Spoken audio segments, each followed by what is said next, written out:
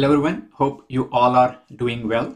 In this episode of Rampcast, we are going to talk about a very common but very important aspect of software engineering and the software development that is related to user interface and user experience. The topic is cockpit interface versus the navigational or guided design.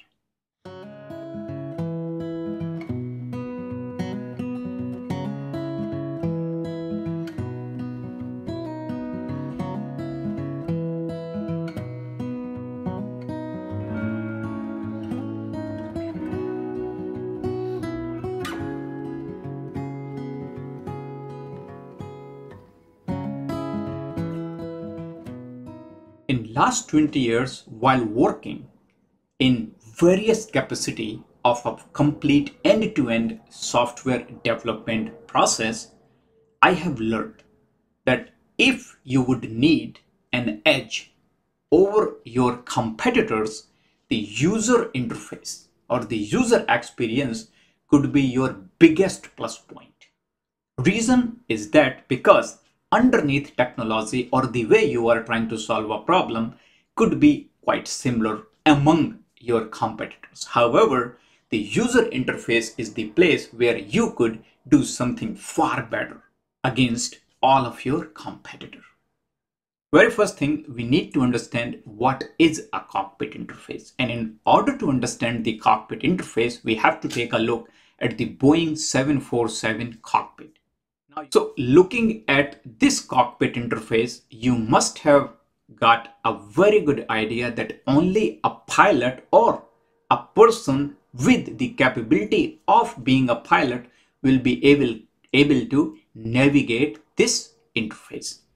I would like to make it clear that I am not talking about the Linux based cockpit interface for the operating system design, but I am specifically talking about the cockpit interface for the SaaS-based product when we are creating the SaaS-based services for our customers. Having the cockpit design for SaaS-based applications or the SaaS-based web applications is not really very useful. It's a big drawback for the consumers and that is what we are going to talk about in this video. The very first problem is that it discourage your targeted user to immediate think that they will have to do a lot.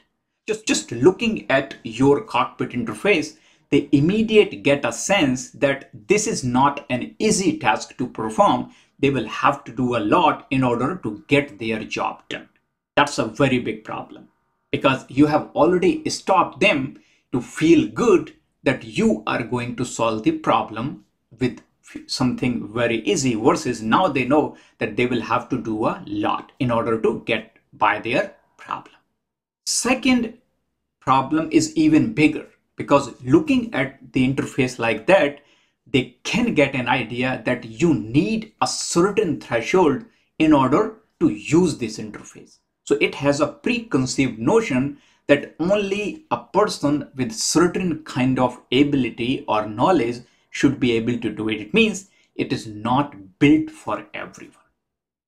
Third and last very important aspect is the visible complexity.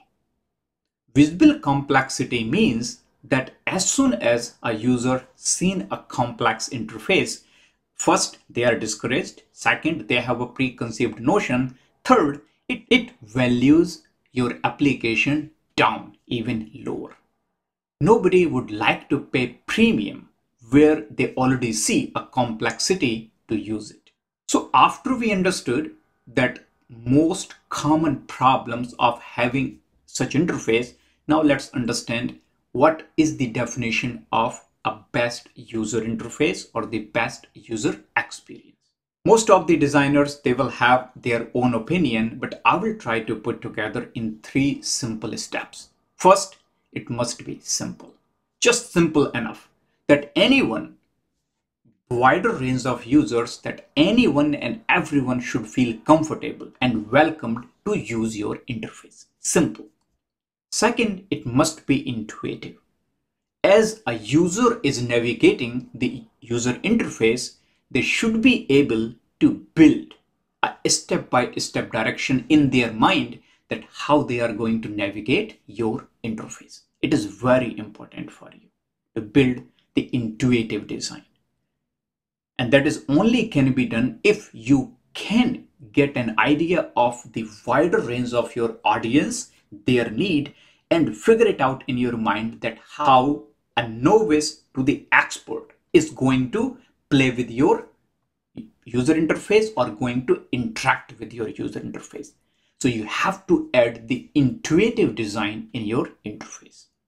Last but not least is the most important component, which most of the designer totally miss it. And that is the self-serving component. The user interface or the user experience should be self-serving. If there is a option, user should be able to quickly figure it out why it is there without even changing the context. So self-serving should be two level. First, it's guiding what needs to be done, why a certain component is there. And in an event of failure or a problem, it should able to serve the user that how they could overcome it. So it means if they met the problem, they should not get even more frustrated versus they should be welcomed to find a solution by doing certain tasks with regard to your application. There could be several things you could do to make that experience better.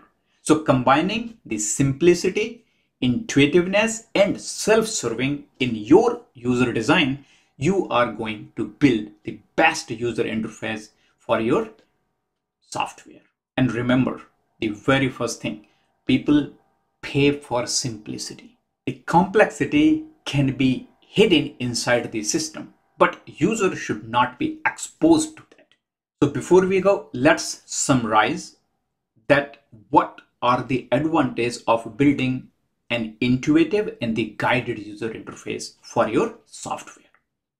The intuitive and guided interface immediate gives a notion to your user that first they don't really need to do a lot. Second, they can learn while using your software and they can progress without any or very less problems or hassle as they progress with their experience.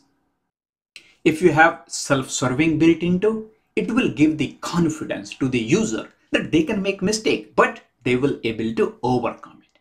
If you do not have self-serving, then mistakes will be there, but user is going to lose their confidence very quickly.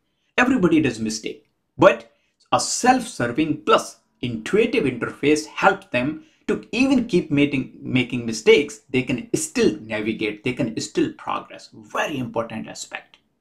And third, when people think something is simple, they can pay premium for it. And that's a very good aspect when you are building a commercial software where you are looking to gain even more advantage over your comp competition. Because user interface is something where you can do far better than your competitors. And last but not least, that advantage is for the developers. If you build the simple, intuitive and self-serving design, you can add so many points in your software to collect the user experience back to you. So you could understand that where the problems are, where most of the user is stuck, where are the issues where user have to navigate even more deeper to use your software and use that data to make sure that you are improving the user experience by adding more code to it while keeping the design simple and intuitive. The information what I have shared with you took several years for me to learn and apply into the practice. It is very important. I hope this information is going to help you, assist you to build better software for your users by applying the simple, intuitive, and self-serving user interface. That's all I have to share in this episode of Rampcast.